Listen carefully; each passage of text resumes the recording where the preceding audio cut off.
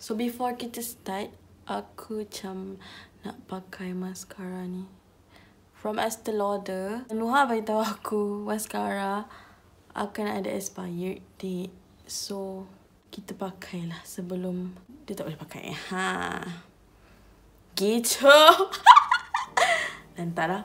안녕하세요 여러분 MJ입니다 Okay, Assalamualaikum and a very good morning, good evening, good afternoon Whenever you guys watch this video Tak kisah, ambil je So today, um, I want to recommend to you guys a list of K-drama that I watched before Yang best-best and meletup tops uh. So a bit introduction for this video. Actually aku tengok K-drama when I was uh, 15 years old kot. Masa tu adik aku yang uh, macam bagi tahu Eh ada satu lagi dunia. Ada satu lagi dunia yang kita semua tak tahu. Uh, K-drama macam tu lah kan. Masa tu macam kita orang tak selalu sangat tengok TV uh, My mom and I uh, And then my adik perempuan And then termasuk my adik lelaki Semua tengok cerita K-drama Kecuali ayah aku lah So kalau korang yang tengok video ni tak tengok K-drama, sila unsubscribe kita lah. I want to recommendkan a few K-drama yang aku tengok. Perhaps ada yang tak tengok lagi kan. So aku macam nak share lah dekat korang semua a few K-dramas yang best best gila. Okay, so without further ado, we move to the list. Okay. So first K-drama yang aku nak share adalah uh, this is my favorite favorite gila K-drama yang aku suka. Um, Wealth Lifting Fairy Kim Book je. Cerita ni daripada SPM sampai sekarang aku tengoknya.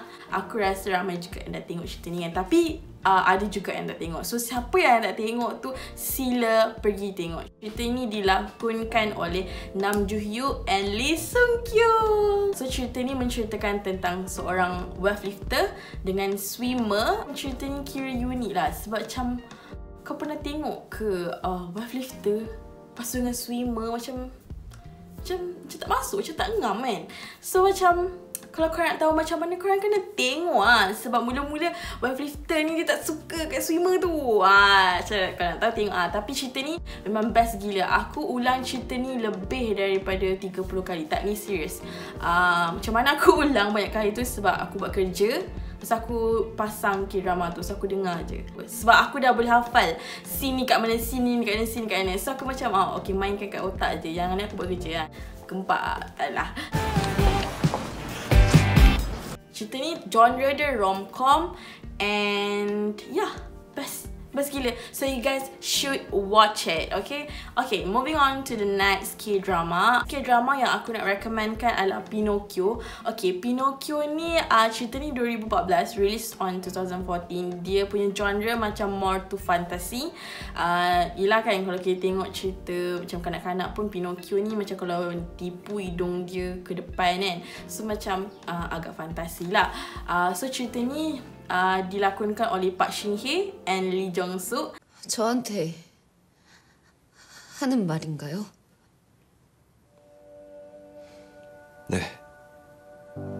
Dalam cerita ni diceritakan pasal uh, wartawan. Macam dalam bidang kewartawanan gitu ada certain wartawan yang tak jujur. Dia uh, buat kerja untuk tutup kesalahan orang lain untuk kes- tutup kesalahan orang yang besar-besar macam CEO atau orang yang berpangkat besar dan mengakibatkan kemalangan atau satu munasabah eh munasabah musibah satu musibah kepada uh, satu, sebuah keluarga so sebuah keluarga ni ada dua orang anak so anak dia ni dua-dua nak macam balas dendam kepada wartawan yang dah buat keluarga dia ni hancur lah, macam tu kenapa aku suka tengok cerita Pinocchio ni eh sebab cerita Pinocchio membanyak gila bagi moral value and aku sangat-sangat suka cerita ni 뭘 무시하고 떠드는 사람이 기자가 되면 얼마나 위험한지 자기 말에 무게를 모른 채 함부로 말하는 사람이 얼마나 무서운지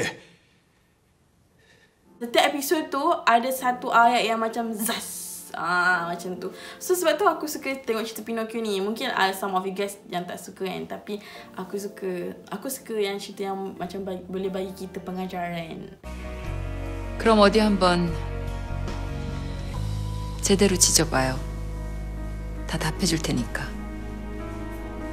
Next K-drama ni uh, aku suka juga. Suka gila-gila. K-drama ni 30 but 17. Uh, dilakonkan oleh siapa aku tak ingat nama dia. Korang boleh tengok dekat screen. Cerita 30 but 17 ni dia menceritakan tentang seorang uh, budak seorang pelajar pemain violin uh, yang dia accident pada usia dia 17 tahun dan tiba-tiba uh, dia bangun umur dia dah 30 tahun. So dia macam terkejut lah sebab mind dia, minda dia umur 17 tahun. Tiba-tiba badan dia dah berusia 30 tahun. So cerita ini menceritakan tentang macam mana budak ni nak adapt dengan situasi yang umur dia dah 30 tahun. Tapi dia punya pengalaman masih 17 tahun. Dan dia masih ingat rumah lama dia adalah rumah dia. So cerita dia bermula daripada situ di mana dia pergi ke rumah lama dia. Dia ingat tu rumah dia. Dan dia jumpa dengan sekeluarga yang um, membantu dia untuk uh, dia sedar yang dia dah 30 tahun macam tu dan dekat situlah dia jumpa cinta dia kalau korang nak tahu siapa sebab ada An Yosok An Yosok ke seorang lagi kalau korang nak tahu uh, korang kena tengok cerita ni okay 곧 기화되면 따가운 증상 또 완전히 사라진 것 같고요. 다행이군요. Cerita ni best gila weh Sebab dalam cerita ni Ada seorang pembantu rumah dia pun Ada satu tragedi yang happen Dekat pembantu rumah dia So pembantu rumah dia ni Banyak gila knowledge dia Sebab pembantu rumah ni Asyik baca buku je kan So pembantu rumah ni Memang membantu cerita ni Untuk memberi Lebih banyak uh, Maklumat Yang korang semua tak tahu 스럽게 생각하며 앞으로 잘 지내보자는 뜻으로 소설가 마가렛 릴 럼백의 말을 인용해 봤습니다. Next K-drama yang aku nak recommendkan adalah Romantic Dr. Teacher Kim. Dua. Tapi yang ni dua. Sebab apa aku cakap dua? Sebab satu aku tak tengok tau. Uh, Aku terus skip kepada dua. Which is release tahun ni kan. Awal tahun lepas. Eh awal tahun ni. So Cerita ni uh, dia punya pelakon I mean main dia adalah Dr. Kim tu lah. And then uh, dia ada An Yosok Dia ada Lee Sung Kyung. Uh, cerita ni pun moral value dia. Fuh. Serious guys. 당신 진짜 의사 맞아요. 나? 나 아픈 사람 고쳐줄 때는 의사였다가 너 같은 양아치들하고 붙을 때는 뭐 개처럼 굴기도 했다가 왔다 갔다 하는 편이지 내가 좀 Uh, dia bukan sahaja cerita pasal uh, doktor dan pesakit dan hospital saja. Dia juga cerita pasal kehidupan. nak hujan ke? Mana lighting aku? Tak belah. Main actor which is Dr. Kim tu Dia banyak bagi moral value dekat dalam cerita ni So macam uh, moral value macam mana? Dia bukan sahaja pasal doktor uh, Dia macam cerita pasal kenapa kau kena hidup uh, Macam kau kena buat ni kalau kau nak hidup Kau kena jadi orang macam ni kalau hidup So kalau kau yang tengok video ni nak hidup Kau tengok cerita doktor Romantic Dr. Teacher Kim Serious awesome 쪽을 설득시키든가 아니면 덜담병원의 문을 닫든가요.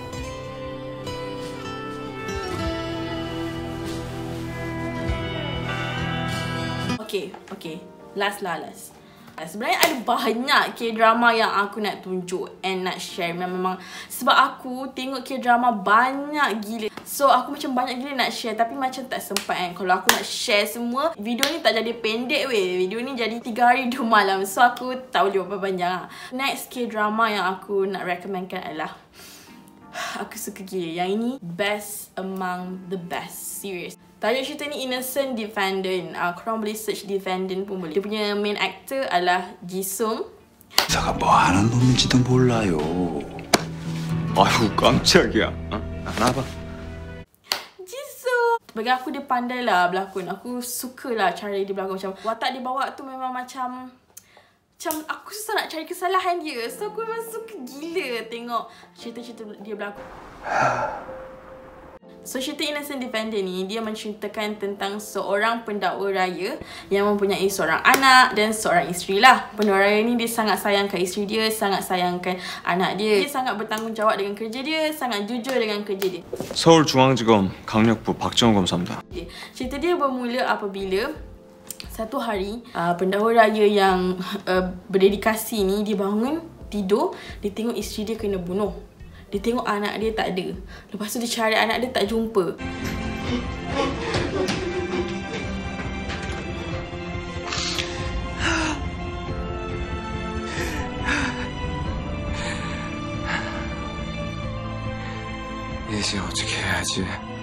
Dan lepas tu dia pula ditangkap oleh polis dan dibawa ke penjara untuk disoal siasat. So dia macam pelik lah kenapa semua benda ni berlaku. Uh, dan dia pun tak sedar apa yang terjadi kepada dia. 어, 박정 씨. 잘 지냈어요? 누구시죠? 네? Rupanya dia hilang ingatan selam, sampai hari itu Selama 3 bulan tu dia hilang ingatan Dia tak ingat apa-apa Satu hari dia ingatan dia dah mula kembali Dan dia macam nak uh, tegakkan keadilan Bukan dia yang sepatutnya duduk dekat dalam penjara tu So apa yang dia buat Dia nak keluar daripada penjara tu secara senyap-senyap Untuk uh, cari anak dia dulu Sebab dia yakin anak dia hidup Sedih weh Aku tak tahu lah nak cakap macam mana 우리 하연이 꼭 찾을게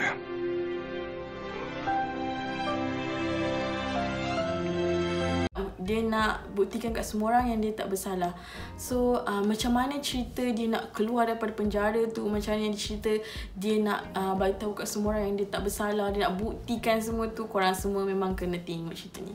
Penghayatan watak yang dibawa oleh Jisung tu aku sangat-sangat impress. Aku memang suka gila. 강준영! 강준영! 준영아! 어, 준영아! 어,